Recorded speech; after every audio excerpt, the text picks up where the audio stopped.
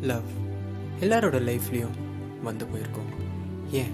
அந்த லவ்வை சில்லியாக மியூசிக்கோடலாம் ரிலேட் பண்ணி ஃபீல் பண்ணியிருக்கோம் எல்லாத்துக்கும் ஒரு காரணம் இருக்கும். அந்த காரணமே மியூசிக்காக இருந்தால் செம்ம ஃபீலில்